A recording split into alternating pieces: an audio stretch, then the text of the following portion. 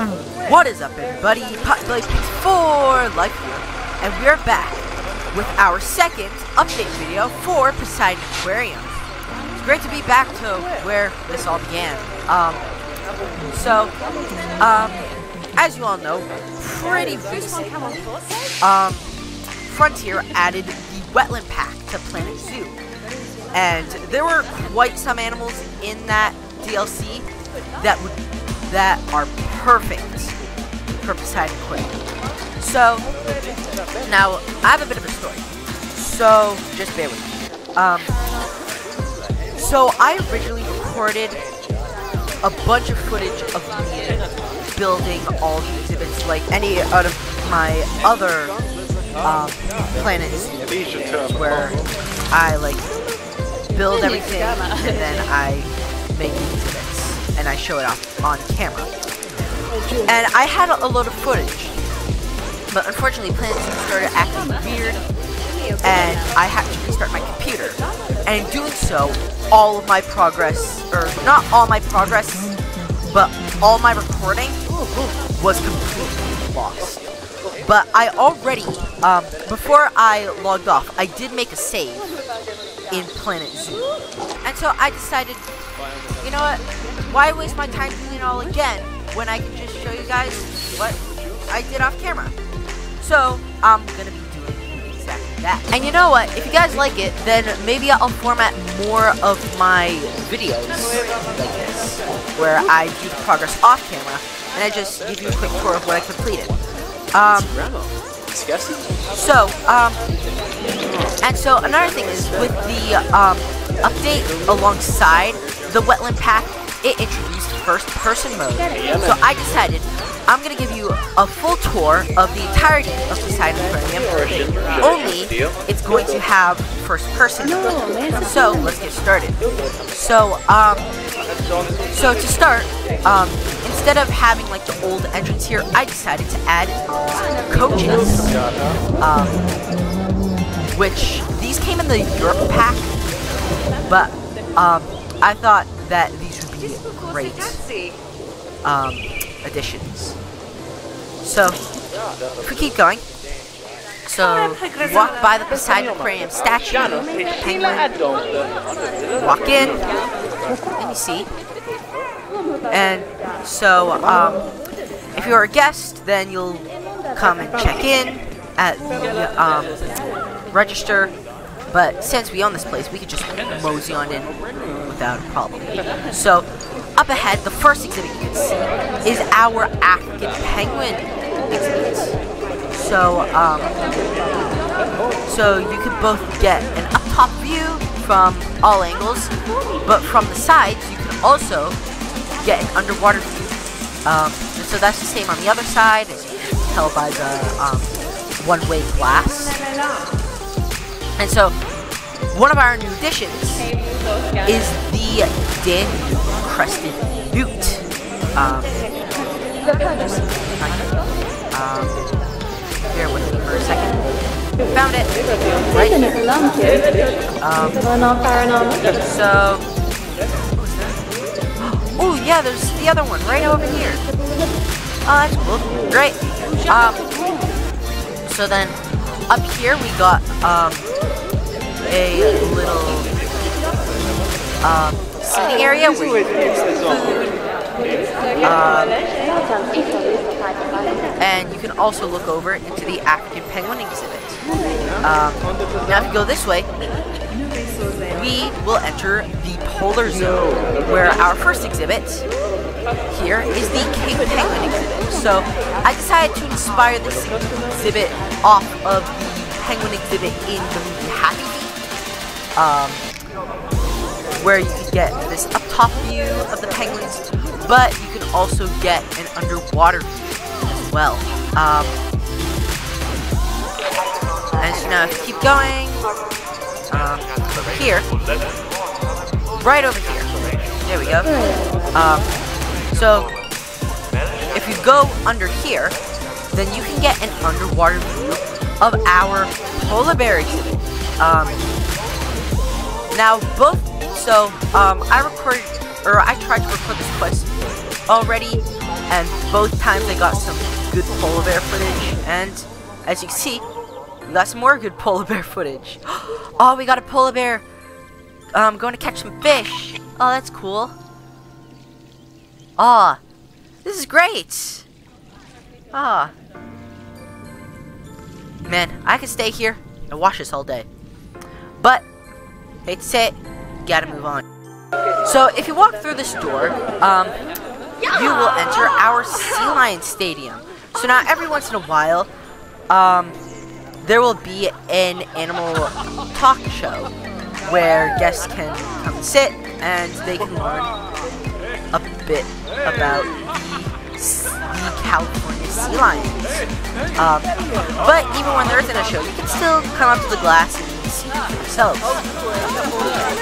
Now, if you go this way, um, this entrance, you will see our Gray Seal Dome. So the reason I put this dome is because the um, Gray Seals don't like snow in their exhibit, and my original plan was to just have snow, but um, I decided to turn the snow off for our other animals. More on that later. So you get a good 180 view of the gray seals. And now if you come over here, you will see our North American beaver enclosure, um, where you could actually see a beaver right there. Right over here.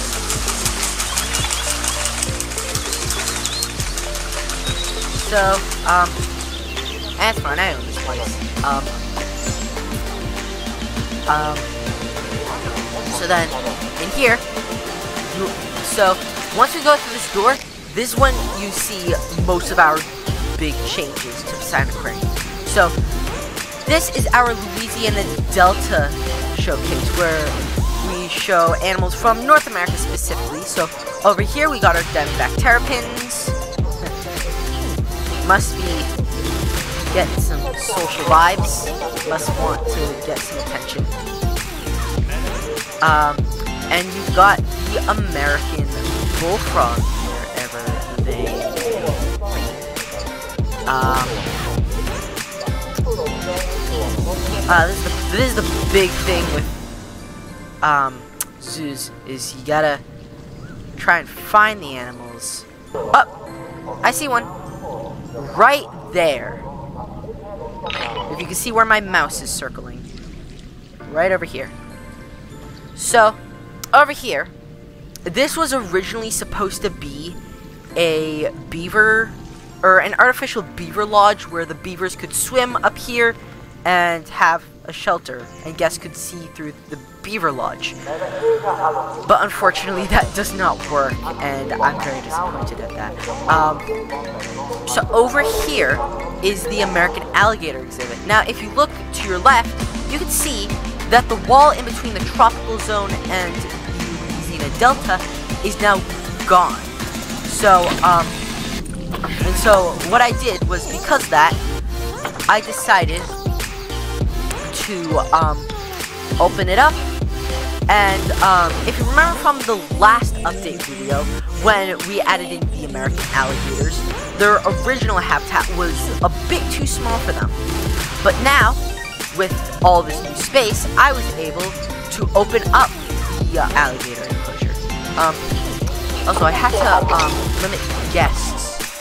Um, because, yeah, but you know what? I think I'm gonna turn off the limit. So that's why it's super. So right over here, we have our new giant otter enclosure. Um, you can see one of our otters around. Unfortunately, our breeding pair, our breeding pair passed away. Um, and so, all we have left are um, four siblings. Um, and we don't want them to inbreed, so yeah, we put them on contraceptives. Um, so over here, oh wow, um, over here we got the Cuvier's Dwarf Caiman. Now, not much has changed here. Um, you get a full 360 view enclosure. But then over here, what used to be the Gharial crocodile is now the Spectacle Caiman enclosure, another one of our new additions from the Wetland Pack. Um, so, we got a bunch of babies. Um, but then, if you look over here, you can see our new add-on to Poseidon Aquarium.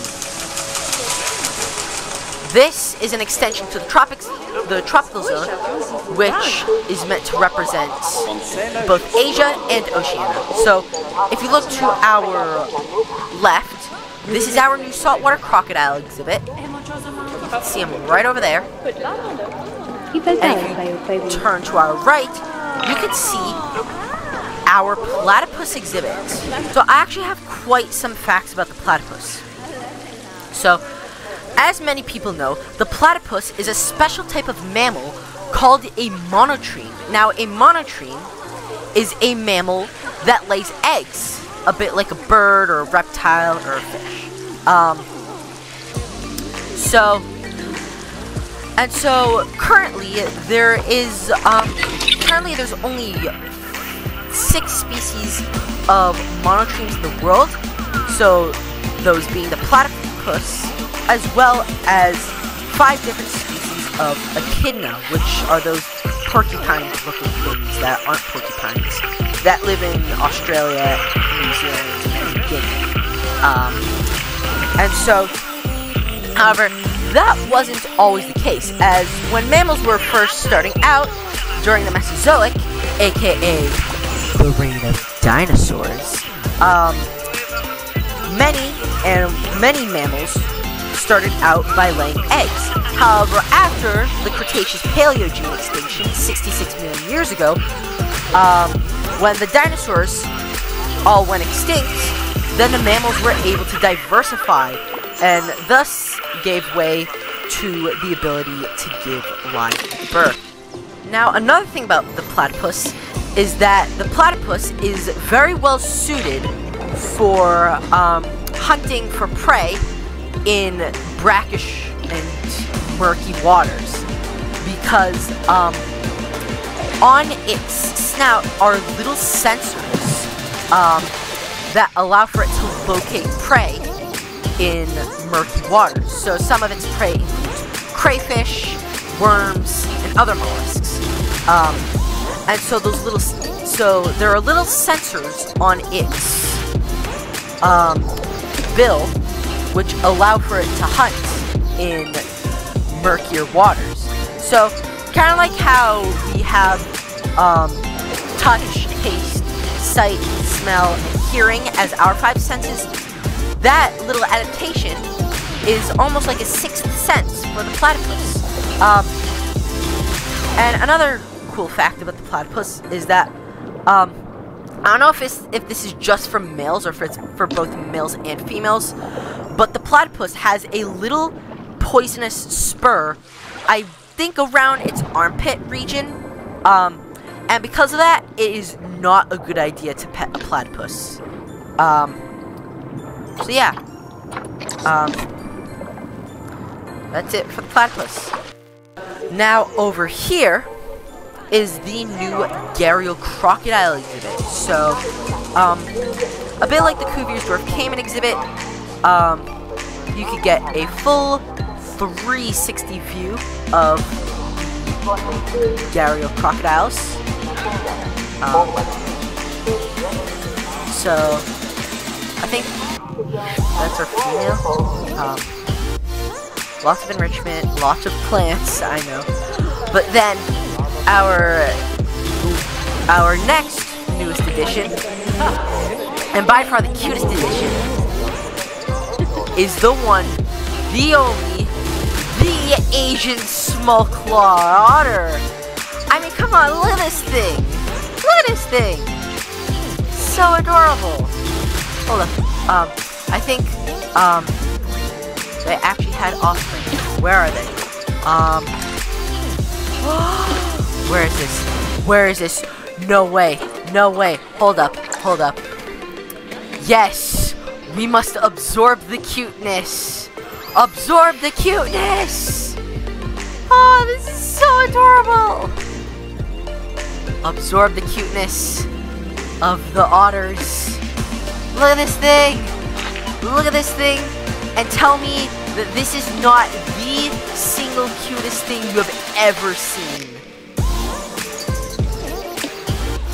Look at it. It's so stinking adorable. Even the even the adults are just as adorable. But the babies are so stinking cute. Oh, and the little noises they make. Man, I could watch you guys all day. But we gotta tour.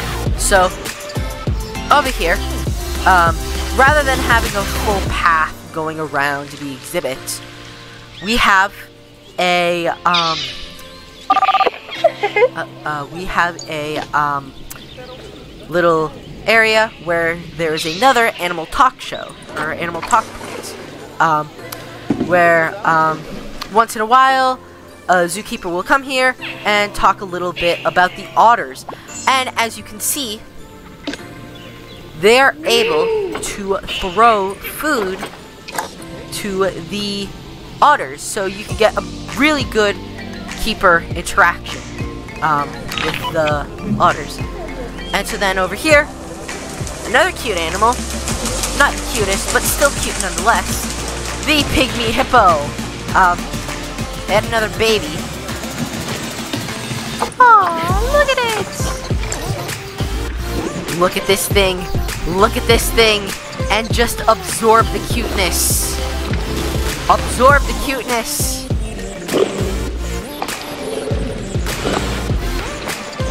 Ah, uh, even the adults are also so cute. But yeah, um, and over here, just like the King Penguins, you can get both an up-top viewing and you can get an underwater viewing.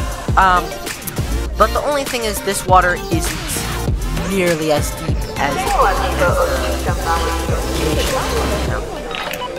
the, um, uh, the king penguins. There we go. Um, so yeah, so that's the end of the tour.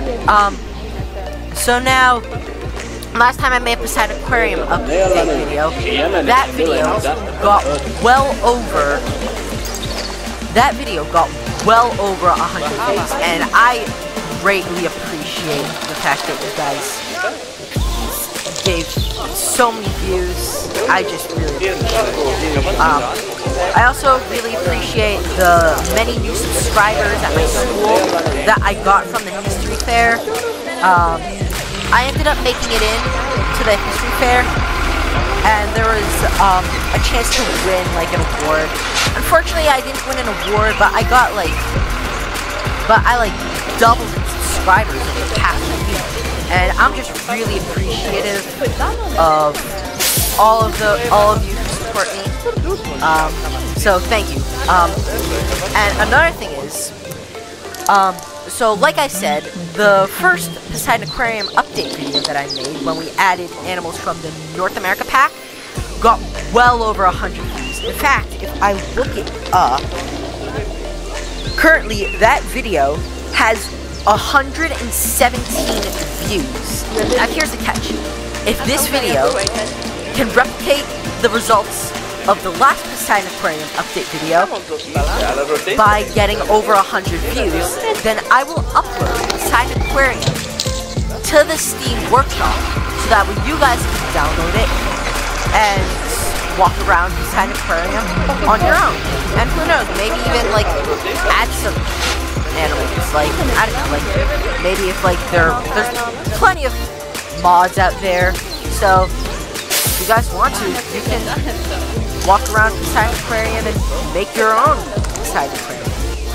Um, I mean, unless you're like, I, I, I don't know too much about that stuff. But anyways, I really hope you guys enjoyed today's episode. If so, please make sure to leave a like and subscribe to see some more Minecraft, Planet Zoo, and Jurassic World Evolution 2 content. And I will see you guys next time.